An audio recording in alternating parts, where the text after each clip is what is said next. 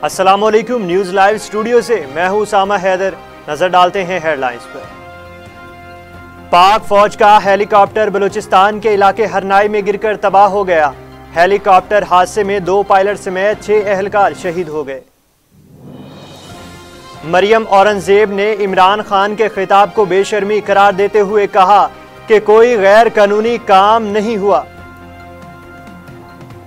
मर्दान दूसरा चौक के इलाका में नामालूम मुसल्ला अफराद ने मस्जिद में नमाज़ के दौरान फायरिंग करके हसास इदारे के सब इंस्पेक्टर को कत्ल कर दिया।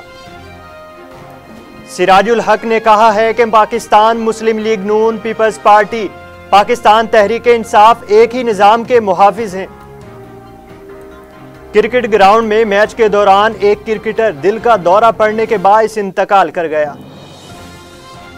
सीरीज़ के चौथे टी मैच में पाकिस्तान ने इंग्लैंड को दिलचस्प मुकाबले के बाद तीन रन से शिकस्त दे दी। मियाँ चनू के नवाही इलाका 21 एट आर तोलंबा में एहसन काउंटी लीग में लकी स्टार अदनान की टीम ने टाइटल अपने नाम कर लिया। आए आपको बराह रास्त लाहौर लिए चलते हैं, जहाँ पर chairman Tehreek Insaf Imran Khan GC university में तुलबा से खिताब कर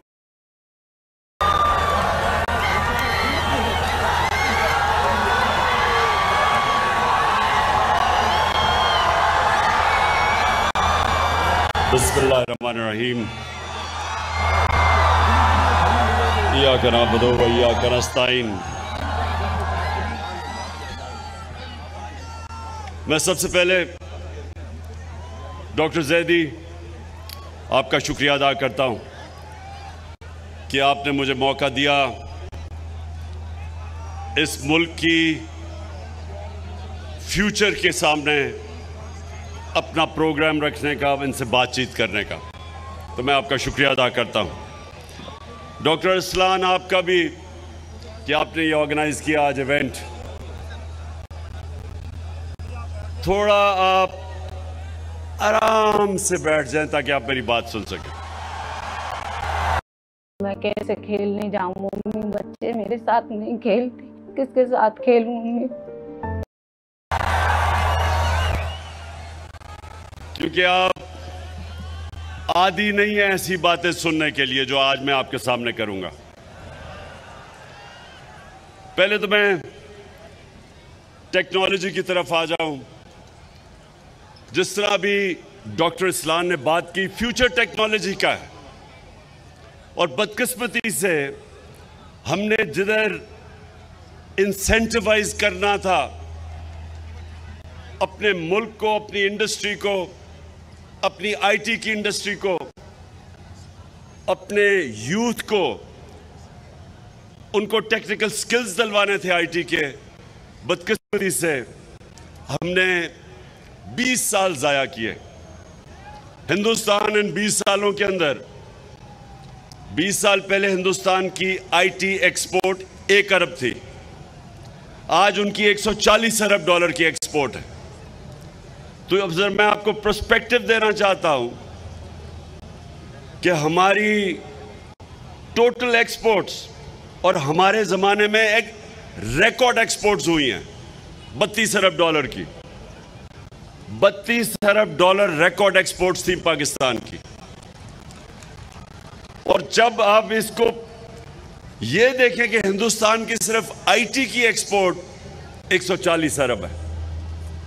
सो ये सोच लें कि हमने ये जो 20 साल इतने ज़ाया किए, इसमें अगर हम जो हमने अभी स्टेप्स लिए थे, अपनी आईटी एक्सपोर्ट्स बढ़ाने के लिए तो हमारा पहला, तीसरे साल दूसरे साल में हमारी 35 परसेंट एक्सपोर्ट बढ़ी, तीसरे साल में 45 और जो आखिरी साल था उसमें पचहत्तर फ़ीसद हमारी आईटी एक्सपोर्ट्स बढ़ी।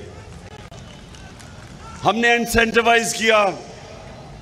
हमने स्पेशल आईटी जोन्स शुरू की जिसके अंदर टैक्स इंसेंटिव्स दिए। मैं ये इसलिए आपको जल्दी जल्दी बता रहा हूँ क्योंकि अभी अब मैंने आपसे और भी बातें करनी है। मुझे लग रहा है इतना, इतना ज़्यादा आपको आईटी के अंदर इंटरेस्ट नहीं है जितना होना चाहिए। फ्यूचर आईटी है। टेक्नोलॉजी की फ्यूचर है। अभी इसने अरसलान ने आपको कहा कि एक छोटी सी आईटी कंपनी ने 20 अरब डॉलर की अपनी आईटी की कंपनी बेची है। छोटी सी कंपनी। आईटी के अंदर 30 साल की कम से नौजवान अपनी कंपनीज़ बनाते हैं और बिलियनर्स बन जाते हैं। तो ये दुनिया इस तरफ़ जा रही है। और हमारी अब पूरी कोशिश थी हमारी गवर्नमेंट की और इंशाल्लाह जब भी आगे आएगी कि हमारा पूरा ही एम्फोसिस स्टार्टअप्स को कैसे हमने आईटी स्टार्टअप्स को इंसेंटिवाइज करना है। उनके लिए ज़ीरो टैक्सेशन हमारी आईटी कंपनीज़ के लिए ज़ीरो टैक्सेशन हमारा जो फ्रीलांसर्स हैं, उनको 100 परसेंट हमने कैपिटल गेंस टैक्स माफ़ कर देना है। ताकि वो काम करें इंसेंटिवाइज हो। लेकिन मैं अब, मैं क्योंकि बड़ी देर के बाद गवर्नमेंट कॉलेज आया हूँ, मैं ये चाहता हूँ कि अब आप गौर से मेरी बातें सुने, क्योंकि इंसान इंसान और जानवर में फ़र्क क्या है? इंसान और जानवर में क्या फ़र्क है? दो बहुत बड़े फ़र्क हैं। मैं पहले तो एक एरिस्टोटल एरिस्टोटल ने ढाई हज़ार साल पहले एक बात कही। ये गवर्नमेंट कॉलेज गौर से मेरी बात सुनना। ढाई हज़ार साल पहले उसने बात की कि अगर एक माशरे में जुल्म और नाइंसाफी है, अगर माशरे में जुल्म और नाइंसाफी है, सारे माशरे के लोग उसके खिलाफ खड़े होंगे। आवाज़ बुलंद करेंगे, यानी सियासत में आएँगे, उसको काउंटर करने के लिए। लेकिन दो तबके नहीं दो तबके जुल्म और नाइंसाफी का मुकाबला नहीं करेंगे। नंबर वन नंबर वन जो बुजदिल हैं, जो डरते हैं कि हम ये ताकतवर जालिम के सामने खड़े होंगे तो वो हमारे पर जुल्म करेगा। कूफा के लोग, उनको पता था कि हज़रत इमाम हुसैन सच पे खड़े हैं। उनको पता था वो राय हक पे है। लेकिन कूफा के लोगों ने यजीद के जुल्म से डर के हज़रत इमाम हुसैन की मदद नहीं की। और इस्लाम की तारीख का सबसे बड़ा जो सबसे बड़ी ट्रेजेडी थी, जो सानिया था, वो होने दिया। और हमेशा पछताए तो एक तो बुजदिल जुल्म का मुकाबला नहीं करते और दूसरे खुद गर्ज अगर मैं समझ रहा हूँ मेरी ज़िंदगी बड़ी आसान है, मेरे पे सब कुछ है और मेरे माशरे पे जुल्म हो रहा है, लेकिन मैं कहूँ कि मेरी ज़िंदगी में क्या फ़र्क पड़ेगा? मैं तो इंजॉय कर रहा हूँ, मेरी ज़िंदगी आसान है। ये सबसे बड़ा प्रॉब्लम पाकिस्तान की एलीट का है कि हमारी एलीट क्योंकि वो कंफर्टेबल है, आसान ज़िंदगी है, नौकर हैं। आप इंग्लैंड, यूरोप, वहाँ जाके काम करें, नौकर नहीं, नौकर को यह शायद ही कोई अफोर्ड कर सकता है। यह आसान ज़िंदगी है। तो वो सोचते हैं कि हम क्यों जालिम का मुकाबला करें? और इस तरह एक माशरा गुलाम बन जाता है। जुल्म जुल्म के गुलाम बन जाते हैं। खौफ के गुलाम बन जाते हैं।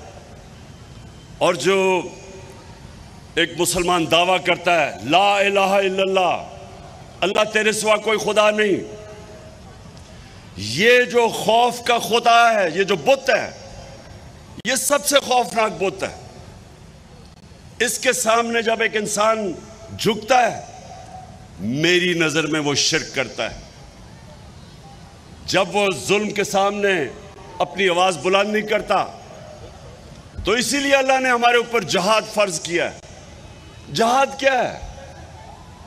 जुल्म का मुकाबला करना, ना इंसाफी के सामने खड़े होना।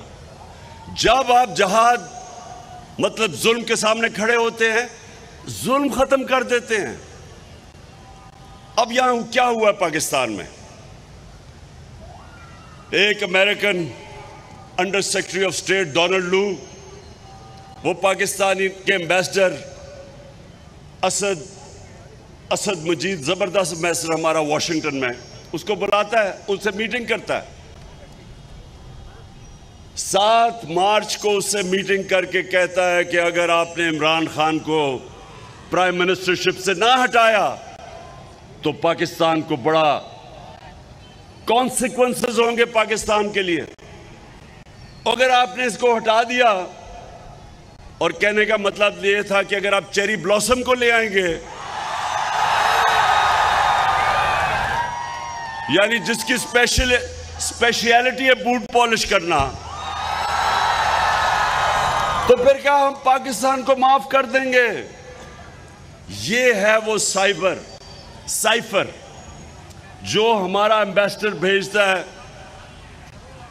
फॉरेन ऑफ़िस को मुझे आता है। मैं वो देखता हूँ। अब ये जरा गवर्नमेंट कॉलेज आप एक मुल्क के माशाल्लाह उन छोटे से तबके के लोग जिनको क्वालिटी एजुकेशन मिलती है। तो जरा आप ये सुने। कि एक मुल्क का प्राइम मिनिस्टर, उसको एक एम्बेसडर जो उसके नीचे काम कर रहा है एम्बेसडर से आता है कि जी वो डोनाल्ड लू एम्बेसडर को कह रहा है कि अगर आप इमरान खान को नहीं हटाएँगे तो पाकिस्तान के कॉन्सिक्वेंसेज होंगे। अब एम्बेसडर ने तो नहीं हटाना था। वो तो मेरे नीचे है। किसको पैगाम दे रहा था?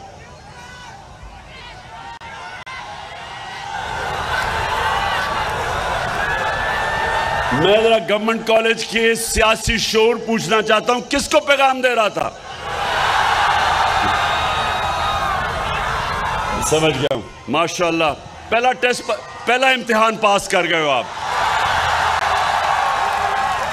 अच्छा उसके बाद, सुने जरा। सात को, एक मिनट सुने सुने। सात को वो बाद में आएगा, बाद में आएगा, बाद में। पहले मैं ये डील कर लू। पहले सात को वो ये धमकी देता है। आठ को अच्छा वो धमकी ये देता है कि नो कॉन्फिडेंस मोशन टेबल होगा नेशनल असेंबली में और इमरान खान को हारना है, आपने हराना है।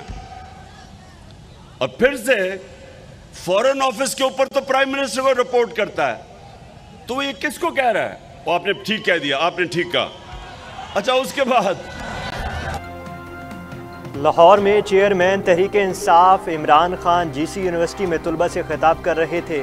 अब तक के लिए इतना ही, मजीद खबरों से बाखबर रहने के लिए देखते रहिए न्यूज़ लाइव।